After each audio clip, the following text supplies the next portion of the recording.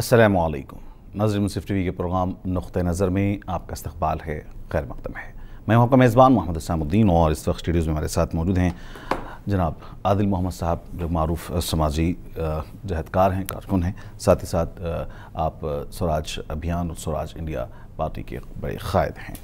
ناظرین، پروگرام نقطہ نظر میں جیسا کہ آپ جانتے ہیں، ہم اہم ایشوز پر گفتگو کرتے ہیں اور اس کے پیچھے چھپی ہوئی حقیقت کو، سچائی کو بے باکانہ طور پر، حقائق کے ساتھ منظر عام پر آپ تک پہنچانے کی کوشش کرتے ہیں۔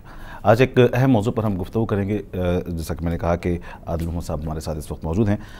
حال ہی میں مرکزی مملکت وزیر جناب مختار عباس نقوی صاحب کا ایک بیان انہوں نے دیا ہے وقف املاک کو لے کر، وقف پراپرٹیز کو لے کر، کہ انہوں نے کہا کہ جو وقف کے جو املاک ہیں، وقف پراپرٹیز ہیں ہندوستان بھر میں، جہاں تقریباً سبھی ریاستوں میں، اس کا صحیح اور سمجھیے کہ بہتر طور پر استعمال کرے گی مرکزی حکومت یعنی کہ جو اس پراپرٹیز کے ذریعے جو فوائد حاصل ہوتے ہیں، اس کو مسلمانوں کی معاشی، تعلیمی، سماجی یعنی ایجوکیشنل اکنامیکل اور سوشل لیول پر ان کے اپلفمنٹ کی کوشش کی جائے گی۔ کہاں تک سمجھیے کہ حکومت اس بات میں سنجیدہ ہے ہم اس پر گفتگو کریں گے۔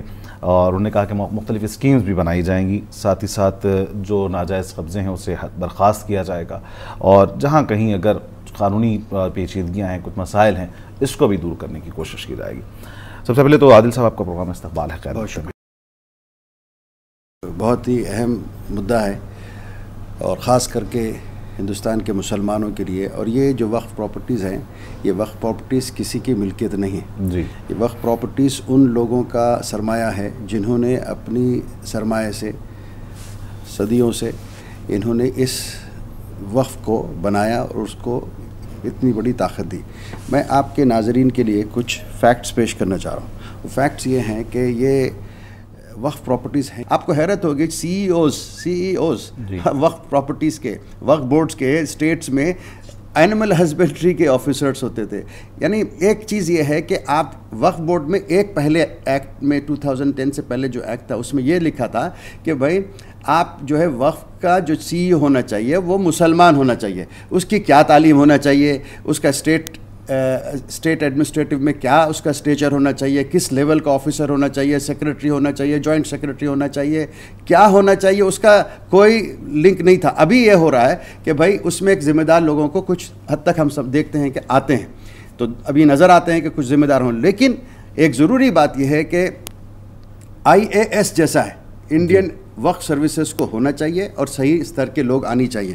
تو یہ ابھی تک وہ کام ہوا نہیں اس کے باوجود اتھارٹیز سی ای اوز کو بہت زیادہ ہیں وہ کینسل بھی کر سکتے ہیں اور لیز کے ختم ہونے پر رینٹ ایکٹ کے اندر پہلے جو رینٹل رینٹ کنٹرول ایکٹ تھا اس کے تحت آتے تھے وقت پراپرٹیز اب اس کے تحت نہیں ہے۔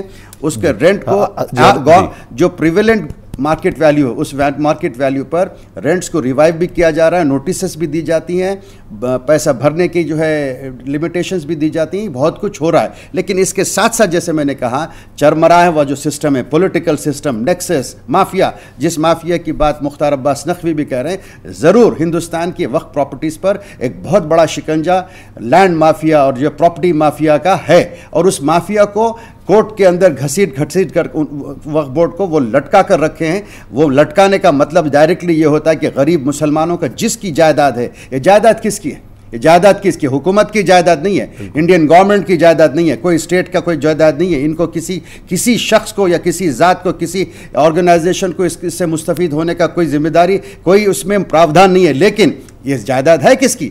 غریب مسکین اور جو ہے پچھڑے مسلمانوں کی جائیداد ہے۔ ان مسلمانوں کو اگر فائدہ نہیں ہوتا ہے اور یہ گورنمنٹ لیگل بیٹلز میں کورٹ میں پارلیمنٹ میں اور جو ہے وقت میں اور مافیا کے ساتھ بھیڑ کر اگر لڑ لڑ کر یہ ستر سال اگر نکال دیتے ہیں تو کون ذمہ دار؟ ہے میں سمجھتا ہوں ساری حکومتیں ذمہ دار ہیں۔ انہوں نے کبھی بھی اس کے ساتھ ساتھ وہ ساری مسلم تنظیمیں ذمہ دار ہیں جو اس پر تجارت کرتے ہیں، سیاست کرتے ہیں، اپنی اپنی اپنی تجوریوں کو بھرتے ہیں۔ سارے ہندوستان کے اندر ہے، یہ مسئلہ ہر جگہ کی، چاہے دلی کی وقت وقت پراپرٹیز کی تنظیمیں ہوں، وقت بورڈ ہو، یا بہار کی ہوں، یا کرناٹک کی ہوں، یا آندھرا پردیش یا تلنگانہ کی، ہر جگہ پر ایسے مافیاؤں کا اڈا ہے، جس مافیا کی وجہ سے وہ سکتے ہوئے مسلمانوں کی مستقبل کو روکا جا رہا ہے۔ یہ ایک بہت بڑا گنونا گنونا الزام ہے، میں لگا رہا ہوں، اور اس الزام کے لیے گورنمنٹ کسی بھی گورنمنٹ نے ایسا اقدام نہیں کیا جس سے یہ راحت مل سکے۔ میں سمجھتا ہوں کہ یہ جو این ڈی اے سرکار کر رہی ہے میں آپ کو یہ کہنا چاہ رہا ہوں کہ یہ این ڈی اے سرکار وہی این ڈی اے سرکار ہے جو ٹو تھاؤزنڈ فورٹین اور ٹو تھاؤزنڈ ففٹین میں بجٹ الوکیشن مسلمانوں کے لیے جب ہوتا ہے آپ اٹھا کر دیکھیے انہوں نے سو کروڑ روپیہ مدرسوں کے ریفربیشن کے لیے، اس کو امپروو کرنے کے لیے، اس کی، اس کے استر کو بڑھانے کے لیے کیا ہے؟ مذاق ہے مذاق ہے۔ آپ fourteen to fifteen percent population کے ساتھ ایسا گھنونا مذاق کرتے ہیں کہ ان کا الوکیشن تک نہیں ہوتا ہے۔ اور جب الوکیشن نہیں کرتے ہیں آپ، اور آپ جو ہے، جب دینے کا وقت آتا ہے، آپ کو تو دینا چاہیے۔ پوائنٹ سیون پرسنٹ الوکیشن ہوتا ہے۔ مسلمانوں کے اوپر جو ہندوستان کی تجوری سے پیسہ نکل کر مسلمانوں کی بقا کے لیے جو پیسہ استعمال ہونے کی بات حکومتیں کرتی ہیں یہ بی جے پی سرکار نریندر مودی کی پوائنٹ سیون پرسنٹ دیتی ہے۔ جب ان کا حق جو ہے چودہ پرسنٹ ہے۔ تو مطلب کیا وہ نیت تو بالکل صحیح نہیں ہے؟ نہیں سیت رہنے صحیح رہنے کے باوجود اسی کے مائنورٹی منسٹر مختار عباس نقوی اگر یہ کہتے ہیں کہ میں ری ویمپ کروں گا، میں ایک ایسا جو ٹائم بانڈ اور جو ہے بہت بڑا وار کروں گا مافیا پر اور پوری وقت پراپرٹیز کو واپس لوں گا اور جو ہے اس سے جنریٹ کروں گا عوام، مسلمان عوام کے لیے جو جو جو حقدار ہیں، ان کے بخا کے لیے ایجوکیشن کے لیے ہیلتھ کے لیے، کل مالز بناؤں گا کمرشل کمپلیکسز بناؤں گا سدبھاونا منڈپس بناؤں گا جہاں پر جو ہے کمیونٹی سروسز ہوں گے گاؤں گاؤں کی پراپرٹیز کو میں ری ایکوائر کر کے اس کو ری جنریٹ کر کر نئے حساب سے اس کو جو ہے لیز پر دوں گا اور اس کی اس کی ریونیو بڑھاؤں گا I totally welcome it but نیت۔ میں سوال اٹھاتا ہوں نیت پر یہ مختار عباس نقوی پارلیمنٹ میں بیٹھ کر یہ کیوں نہیں کہتے کہ بھئی پوائنٹ سیون پرسنٹ الوکیشن مسلمانوں کو کیوں ہوتا ہے اب سوال اٹھتا ہے کہ بھئی یہ اچانک بی جے پی کو اتنی محبت اور اتنی جو ہے راحت سے کام کرنے کا موقع کیوں مل رہا ہے؟ سوچ کیوں رہی ہے؟ اس پہ بھی کئی سوال ہیں۔ میں ان سوالوں کو جو ہے بہت ڈیٹیل جی، سے آپ جی عادل صاحب ان سوالوں پر ہم بعد میں جائیں گے لیکن سکے بھی آپ درمیان میں کہا کہ وقت بورڈ کے عہدوں کی جہاں تک بات ہے۔ بجٹ پر ہم جیسا کہ آپ نے کہا کہ بجٹ مسلمانوں کا جہاں رکھا گیا پوائنٹ سیون پرسنٹ بجٹ رکھا گیا جبکہ لاکھوں کئی لاکھ کروڑ کی سالانہ آمدنی ان وقت پراپرٹیز کے ذریعے ہو رہی ہے۔ اس کے باوجود بھی بجٹ جب سمجھیے مختص کیا جاتا ہے تو اس میں بہت مسلمان یا اقلیتوں کو نظر انداز نہیں کے برابر نظر حاشیے پہ لا کر کھڑا کیا جاتا ہے۔ لیکن ایک اور سوال یہ ہے کہ بہت ساری ریاستوں میں وقف بورڈ کے جو عہدے ہیں وہ خالی رہتے ہیں اور اس پر صرف رسہ کشی کا سلسلہ چلتا رہتا ہے۔ تو اس میں کیا ریاستی حکومتوں کی بھی کچھ نیت پہ کوٹ نظر آتی ہے ابھی جو مختار عباس نقوی نے کہا کہ بورڈ آف ایڈجوڈیکیشن انہوں نے ایک سنگل جج سپریم کورٹ کے جسٹس کا ایک بورڈ آف ایڈجوکیشن بنایا ہے۔ اس میں کہیں کے بھی ہندوستان بھر کے کمپلینٹس کو وہ درج کر سکتے ہیں وہ جسٹس ایکشن بھی لے سکتا ہے۔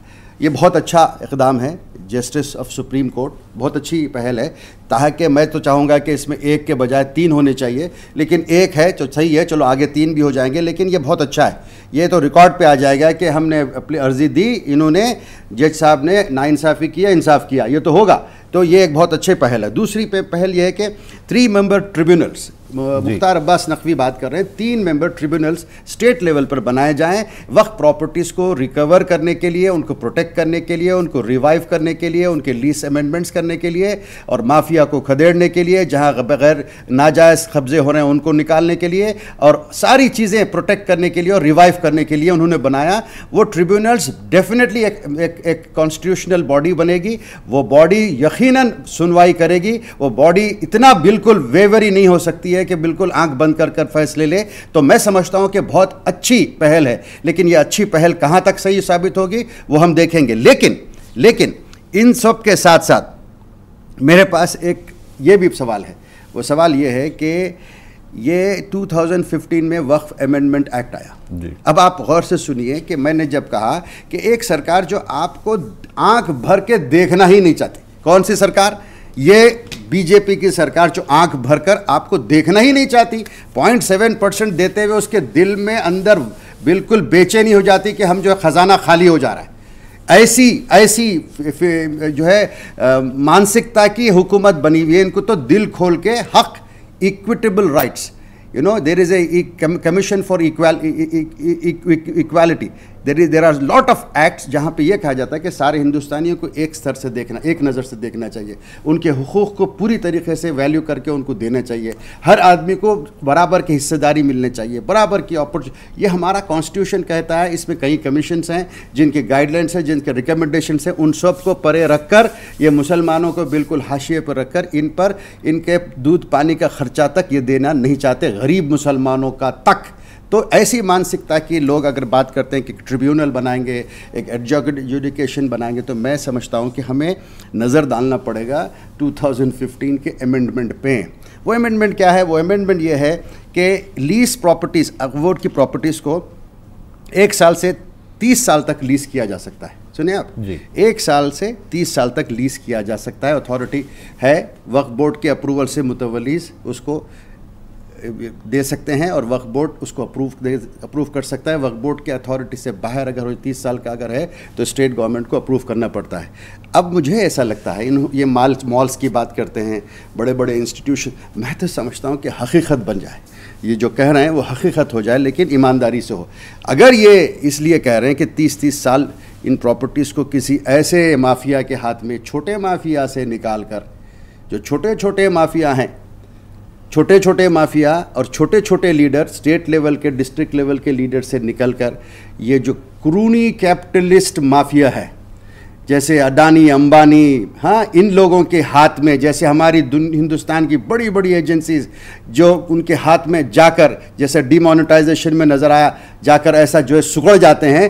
اگر وہ نیت ہے گورنمنٹ کی تو یہ ہو سکتا ہے، اسی لیے پرو ایکٹیو ہو رہے ہیں اور تاکہ ان کو معلوم ہے دہلی میں ایک سو تیئیس پراپرٹیز اگر ان کی نیت اچھی ہے، B J P, U A, U P A سرکار مختار عباس نقوی کو میرا چیلنج ہے کہ اگر ان کی نیت اچھی ہے تو یو پی اے سرکار نے جب یو پی اے سرکار ٹو تھاؤزنڈ فورٹین کے این میں ایک مہینہ، ڈیڑھ مہینہ پہلے انہوں نے ڈی نوٹیفائی کر دیا ایک سو تیئیس پراپرٹیز کو، جو لاکھوں کروڑ کی ہیں، جو لاکھوں کروڑ کے دہلی میں ہیں، ان پراپرٹیز کو ڈی نوٹیفائی کرنے کے بعد یہ بی جے پی کی سرکار جب Najma Heptulla minority ministers تھی وشوا ہندو پریشد کے لوگوں نے ایک عرضی دی وینکیا نائیڈو کے پاس اور ایک آبجیکشن ریس کیا کورٹ میں۔ کیا آبجیکشن ریس کیا؟ یہ ڈی نوٹیفیکیشن آف دی وقت پراپرٹیز جو وقت پراپرٹیز کا ڈی نوٹیفیکیشن کا مطلب وہ واپس وقت بورڈ کو چلے جاتی ہیں جی۔ اور ان کو وقت کا ریونیو جنریشن شروع ہو جاتا شروع ہو چکا تھا۔ ان پراپرٹیز کو انہوں نے لٹیگنٹ کرا کر وی ایچ پی کے لوگوں نے کورٹ کا دروازہ کھٹکھٹایا اور کورٹ نے کہا کہ یہ معاملہ ہمارا نہیں ہے۔ کورٹ نے ایک بہت اچھا ججمنٹ دیا، بولا کہ بھائی جاؤ اپنے سینٹرل گورنمنٹ اور اسٹیٹ کے پاس اور وقت بورڈ وہاں پر سیٹل کرو۔ تو انہوں نے وینکیا نائڈو کو ایک عرضی دے دی وی ایچ پی کے لوگ۔ میں پوچھتا ہوں مختار عباس نقوی میں، کیا وہ آ کر بلا کر وی ایچ پی کے لوگوں کو بولیں گے، بھائی تمہیں کیا تکلیف ہے؟ جب یہ پراپرٹیز وقت کی پراپرٹیز وقت میں واپس آتی ہیں اور اس کا ریونیو وقت میں آتا ہے تو کیا تکلیف ہے؟ مجھے خدشہ ہے۔ جس طریقے سے یو پی اے سرکار ان میں اتھارٹی دے کر وقف انڈین وقف ایکٹ کو بنانے میں ڈھیل دی اور جو ہے لیس کی ایکٹ کو چینج کرنے میں ڈھیل دی پراپرٹیز کو جھلسنے دیا اپنے ہی اپنے ہی گروہ کو۔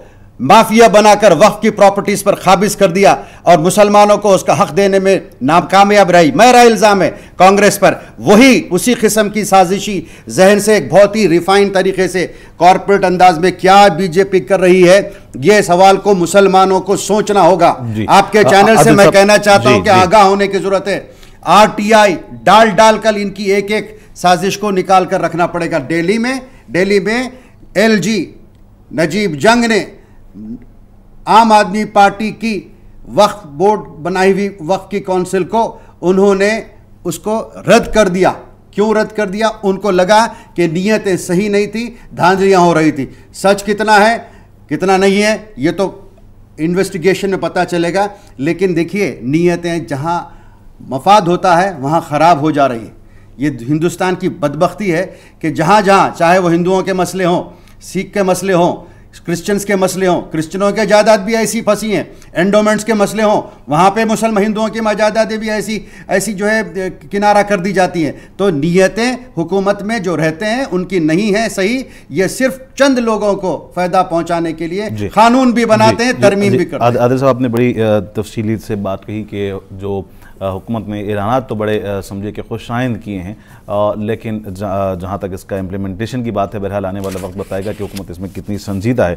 ایک آخری سوال یہ ہے کہ ان سب کے درمیان میں مسلمانوں کو یا اقلیتوں کو کس قسم کی اسٹریٹجی یا حکمت عملی اپنانی چاہیے کہ وہ ان قسم کے جو عام طور پہ ہم دیکھتے ہیں کہ الیکشن سے قبل جو دعوے کرتے ہوئے اپنے مینیفیسٹوز میں لبھانے کے لیے کہ ہم وقت ووٹ کا سمجھے کہ صحیح استعمال کریں گے سیاسی پارٹیاں اس کا استحصال کرتی ہوئی نظر آتی ہیں کیسے اس سے بچیں گے اور مسلمانوں کو مجموعی طور پر اجتماعی طور پر کس طریقے سے اسٹریٹجی بنانی ہوگی کہ حکومت ان کے ساتھ پہلے ہم کو جلدی سے خوش نہیں ہونا چاہیے۔ مسلمانوں کی ایک چھوٹی سی پرابلم ہے۔ وہ یہ ہے کہ کچھ بھی کچھ بولا بس بہت خوش ہو گیا بس ختم۔ ایسے نہیں ہے۔ یہ جو ہے ایک لالی پاپ ہے۔ جی۔ دوسرا جو ہے کانٹا انہوں نے دیا۔ ساکشی مہاراج نے دو دن پہلے۔ بولے چالیس بچے چار بیویاں والوں ذمہ دار ہیں عوام۔ ارے فیکٹس یہ ہیں کہ مسلم population growth is in control and it is reducing یہ اسٹیٹسٹکس ہے انڈین سینسس کی۔ اور یہ ممبر آف پارلیمنٹ کو اتنا بھی نہیں معلوم۔ ہے تو پارلیمنٹ ممبر کون بنایا پتہ نہیں۔ لیکن یہ آدمی بھڑکاتا ہے کیونکہ یو پی کے الیکشن ہے۔ تو یہ مختار عباس نقوی کا پیچھے بیٹھتے ہیں۔ نریندر مودی کے بالکل پیچھے پارلیمنٹ میں بیٹھتے پتہ نہیں کن کس کس کس قسم کی باتیں ہوتی ہیں۔ یہ یو پی کو رجھانے کے لیے انہوں نے ایک لالی پاپ بنا دیا۔ جو لالی پاپ تھوڑا جو اچھی پنی میں جی۔ اور جو کلرفل ہے ایسا لگ رہا کہ آ گیا منہ میں۔ لیکن اس کے اندر ایک بہت بڑی ہتھیار ہے، تلوار ہے۔ وہ تلوار یہ ہے کہ ہمیشہ کے لیے بڑی بڑی پراپرٹیز کو مسلمانوں کے حدود سے باہر لے جا کر وقت کو ڈائلیوٹ کرنے کی سازش بھی ہو سکتی ہے۔ یہ میں پرسنلی سمجھتا ہوں۔ اور اس کے لیے چوکنا ہونا چاہیے مسلمانوں کو۔ مل بیٹھ کر کانسٹیٹیوشن کو سمجھنا ایکٹس کو پورا پڑھنا، اچھے ایڈوکیٹس کو ساتھ رکھنا، تنظیموں کو جڑ کر کورٹ میں کئی کوئی کیسز ڈال کر ہر سٹیٹ میں مافیا کے خلاف خود کیسز چلانا یہ ٹریبیونلز اور جو ایڈجوڈیکیشن کو آبزرو جی۔ کرنا کیسز ڈالنا اور اتحاد سے کام کرنا اور بچانا غریبوں کا جی، فائدہ جی، کرنے کے لیے تنظیمیں کام کرنا چاہیے جن کا حق ہے صرف اعلانات سے خوش ہونے کی ضرورت نہیں ہے بہرحال صحیح حکمت عملی کے ساتھ کام کرنا کا ایک آخری سوال یہ ہے کہ سوراج ابھیان سوراج انڈیا کیا کرے گا بالکل ہم جیسے میں نے کہا دہلی میں ہماری جو الیکشن سب آ رہی ہیں ایم سی ڈی کی ہم وقف بورڈ کی ساری ان چیزوں کو سامنے لائیں گے پبلک کے اور ہمارے پاس اس کا پورا رائے عمل ہے۔ میں جن باتوں کی طرف نشان اشارہ کر رہا ہوں، وہ باتیں وہی ہیں کہ ایمانداری غریب مسلمان کے درد کو آپ وقف سے دھو سکتے ہیں اور دوسرے کمیونٹیز کے، حتیٰ کہ ہندو حضرات اور دلت اور ایس سی ایس ٹی کے حضرات تک اس سے مستفید ہو سکتے ہیں۔ میں نے بات کی پانچ سو، پانچ لاکھ کروڑ۔ دیکھیے ایک point point two crore two lakh crore میں کہہ رہا ہوں، پانچ لاکھ کروڑ کی جائیداد ہے۔ پانچ lakh one hundred sixty three crore کی انکم میں کہہ رہا ہوں، پانچ سو کروڑ کی مین سالانہ انکم آف بورڈ کی ہو سکتی ہے، ایمانداری سے کریں۔ اس میں بہت بڑا بورڈ بننا چاہیے جو انفراسٹرکچر ڈیولپ کرنے کے لیے۔ مخار ابا نصفی نقوی یہ نہیں کریں کہ کون ڈیولپ کرے گا۔ اسٹیٹ ڈیولپ کرے گا یا سینٹرل گورنمنٹ ڈیولپ کرے گی یا مدانی امبانی آ کے ڈیولپ کریں گے، وہ بھی نہیں بتا رہے۔ تو یہ تو مسلمانوں کی جائیداد ہے۔ اس پہ تو مسلمانوں کا حق ہونا چاہیے مسلمانوں میں سے ذمہ دار لوگوں کو جوڑ کر ایکٹیوسٹ لوگوں کو سمجھداری سے اس ایڈجوڈیکیشن اور ٹریبیونلز کے کے تحت ان چیزوں کو بنا کر ایک ایسی باڈی بننا چاہیے اگر یہ پراپرٹیز بنتی ہیں یا دی جاتی ہیں تو صحیح لوگوں کو دی جائیں اور اس پہ اتھانٹیکیشن ہو جی۔ اور مسلمانوں کی اس میں حصے داری ہو جی۔ خالی بس گورنمنٹ ڈیسیشن لیتی رہے اور کوئی دوسرا فرنگی آ کر بیٹھ کر اس پہ جو ہے وقت کی پراپرٹیز کو قبضہ کر دے اور جی۔ ٹھکریاں آپ کو دے دے اور جو ہے لڈو وہ کھا لے تو ایسے مسلمانوں کو چوکنا رہنا چاہیے جی بڑی اہم باتیں ہمارے ناظرین کے ساتھ عادل موسیٰ آپ نے شیئر کی ہیں۔ ناظرین صاحب ہم نے کہا کہ مرکزی مملکت وزیر مختار عباس نقوی صاحب کا جو بیان حالی بھی آیا ہے، وقف املاک کو لے کر کے اس اس کے ذریعے جو ریونیو حاصل ہوگا، جو فوائد ہوں گے، اس کو مسلمانوں کے سماجی، معاشی، تعلیمی اپلیفمنٹ کے لیے استعمال کیا جائے گا۔ اور بہرحال بہت ساری انہوں نے باتیں کی یونیورسٹیز کا قیام، تعلیمی اور صحت سے متعلق ہوئی بہرحال جیسا کہ عادل صاحب نے کہا کہ ان سب کے درمیان جو چیز سب سے اہم ہے، وہ ہے حکومت کی نیت۔ اور یہ بہرحال آنے والا وقت بتائے گا کہ اب اپنی نیت میں کہاں تک وہ صاف ہے اور پھر ساتھ ہی ساتھ جو حکمت عملی کی بات کی کہ مسلمانوں کو بہرحال صحیح حکمت عملی اور اسٹریٹجی سے کام کرنا ہوگا آنے والے دنوں میں۔ بہت بہت شکریہ دل صاحب آپ نے وقت نکالا اور ہمارے ناظرین کے ساتھ خیالات کو شیئر کیے۔ ناظرین پروگرام نقطۂ نظر کہیں پر اختتام ہونا چاہتا ہے۔ اپنے میزبان محمد اسلام الدین کو پوری منصف ٹیم کا ساتھ دیں اجازت دیکھتے رہیں منصف ٹی وی۔ خدا حافظ۔